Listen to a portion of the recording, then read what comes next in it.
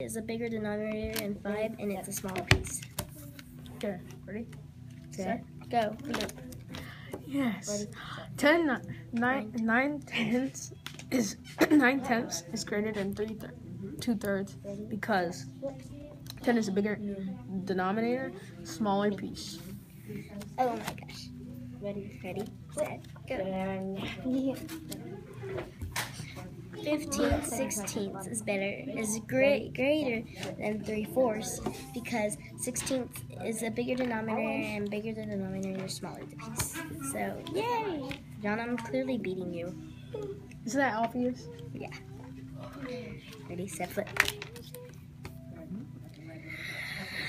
Four fifths is greater than two thirds because it has a bigger denominator, and the bigger the denominator, the smaller the piece.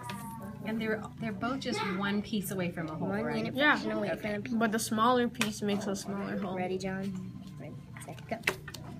Uh-oh. Same thing. Oh, burn. You ready, John? No. Pick my one. Rack. Come on, two, three, go. Uh, uh, uh, okay.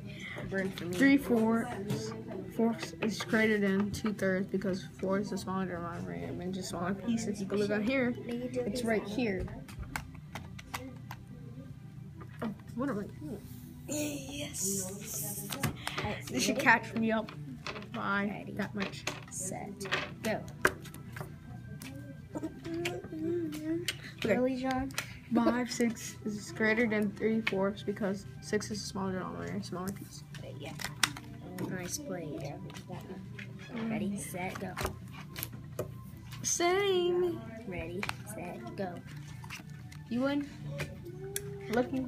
11 twelfths is greater than 1 half because twelfths is a bigger denominator and bigger the denominator, the smaller the piece.